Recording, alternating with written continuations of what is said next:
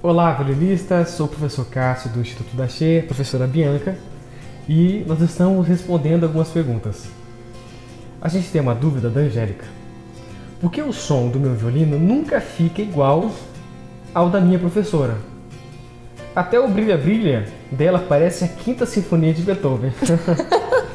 então, é acredito que o tempo que você tá com o instrumento influencia bastante essa coisa de você ter natural em você, é, principalmente em relação à atenção, né? Você com o tempo começa. Então, por exemplo, uma pessoa que começou há seis meses e uma pessoa que toca há dez anos é muito diferente, mesmo que às vezes eles estejam tocando a mesma música, é diferente a pegada, é diferente o relaxamento. Você vai encaixando com o tempo o seu instrumento, você familiariza com ele né?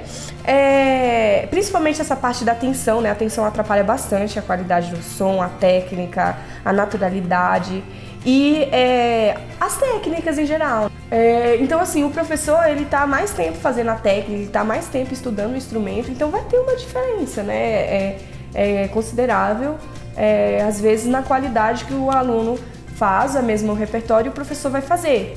Obrigada por assistir o vídeo. Obrigado. Nos vemos na próxima tchau. tchau. tchau.